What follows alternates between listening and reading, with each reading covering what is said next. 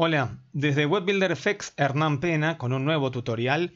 Hoy vamos a tratar los resultados enriquecidos, los datos estructurados, ambos términos apuntan hacia el mismo camino. Los datos estructurados proporcionan una mejor experiencia para el usuario al momento de encontrar nuestros productos, nuestro website, los productos que comercializamos y es uno de los factores también muy importantes para el posicionamiento, para estar mejor catalogados y que nos encuentren de una manera diferente en el buscador Google.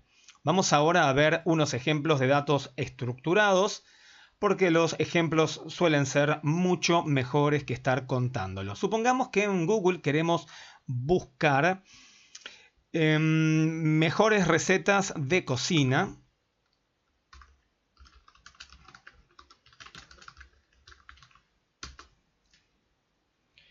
El resultado que nos ofrece Google son, en este momento tenemos tres Bien, y podrán ver que tienen las imágenes, tienen un rating, también tiene textos y se diferencian de los demás. Aquí también tenemos otros más.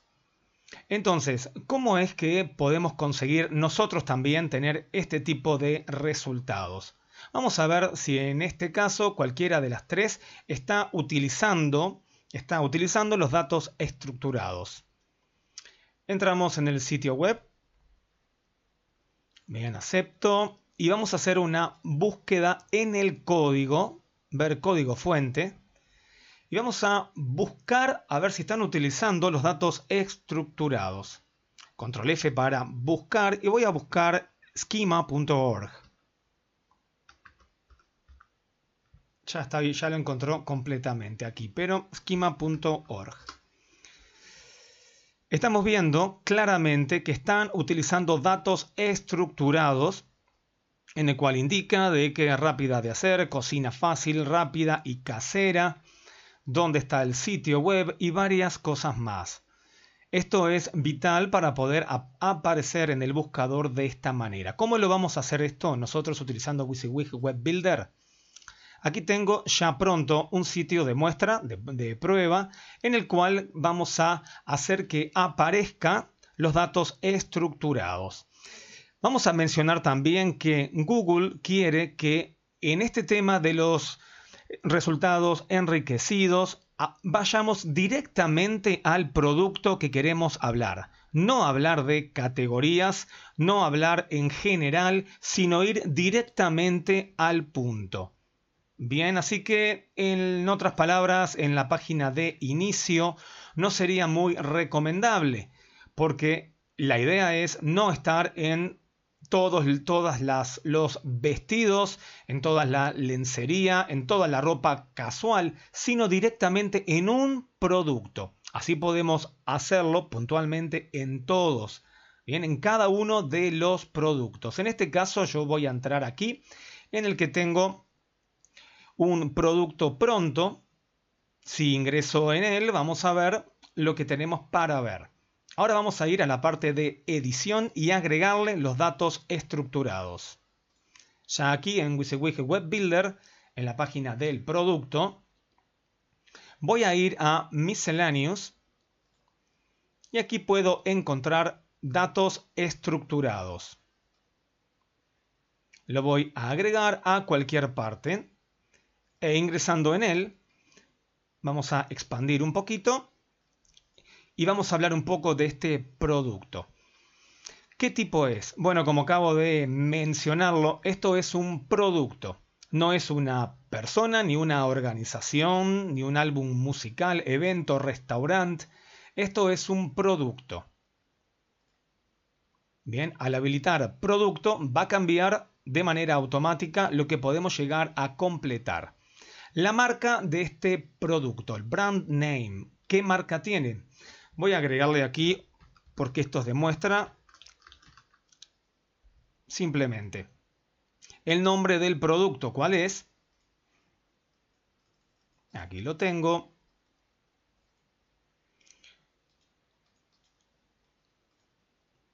La imagen del producto la imagen del producto, la más representativa.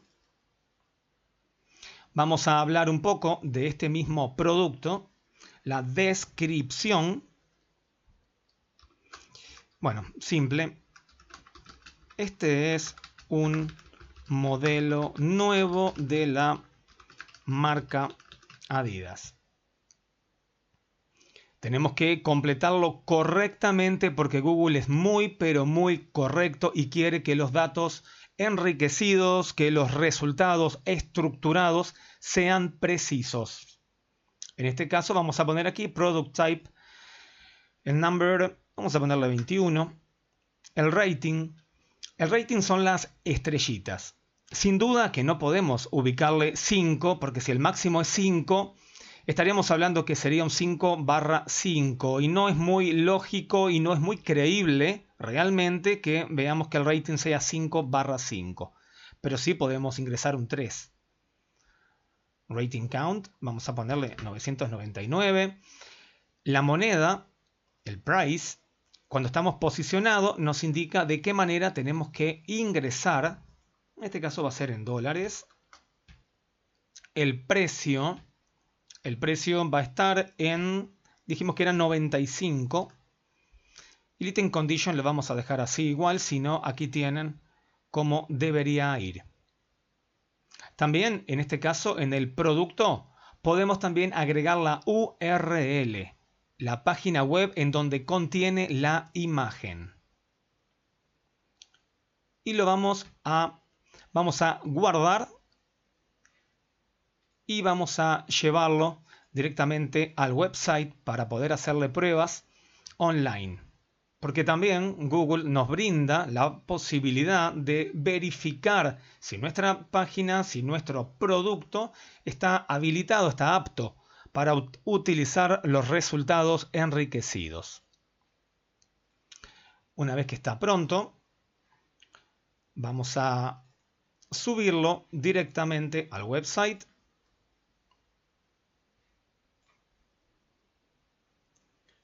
Es muy importante utilizar cada una de las herramientas que podemos cuando queremos posicionarnos correctamente.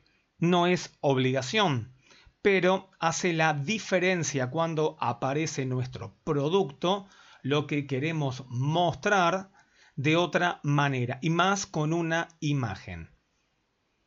Ahora que está pronto, vamos a ver que al momento de refrescar la pantalla, no vamos a ver un cambio, porque esto se va a ver desde otro lado.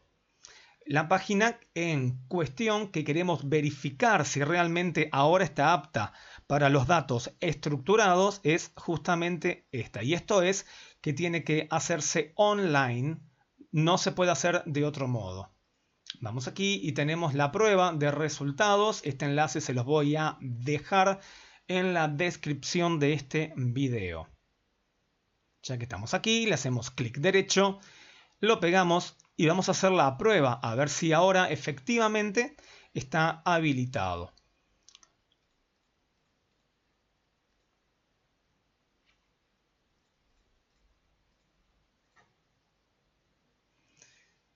Puede llegar a demorar un poquito, es el proceso Perfectamente. Ahora indica de que esta página es apta para generar resultados enriquecidos. Con el nombre del producto. Vemos que tiene aquí seis advertencias. Vamos a entrar e indica de que, bueno, tenemos el tipo que es un producto, el nombre, lo que hemos ingresado, la imagen, también tenemos lo que habíamos hablado en la descripción, en la identificación del producto, el rating que estaba en 3. Bien, pero tenemos otros campos más que indican que son opcionales.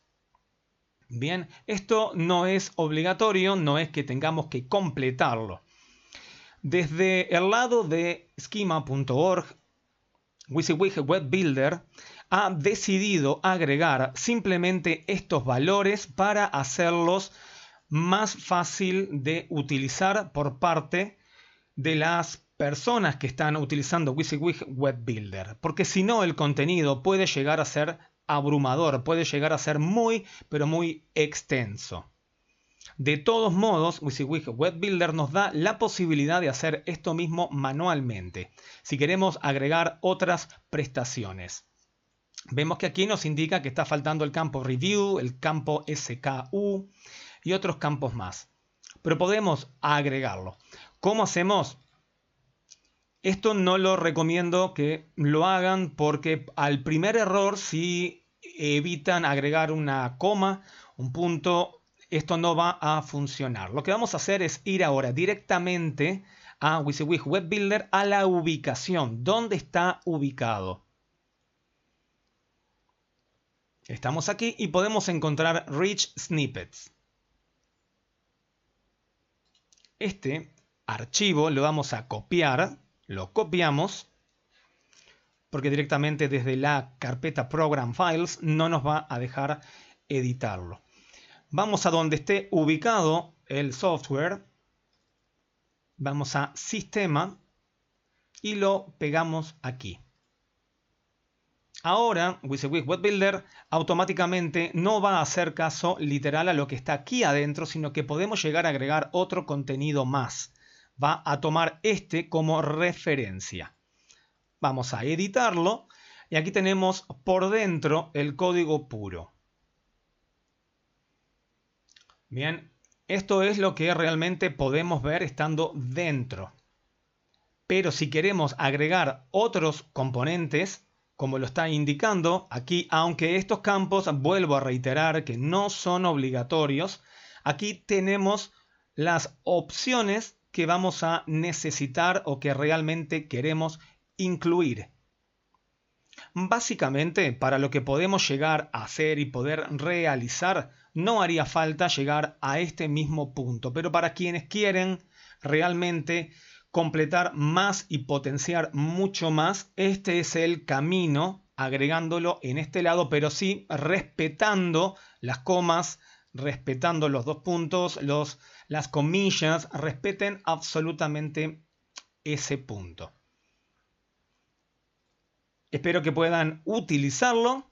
Suscríbanse al canal, utilicen las membresías y nos estamos viendo en otro video tutorial. Hasta luego y muchas gracias.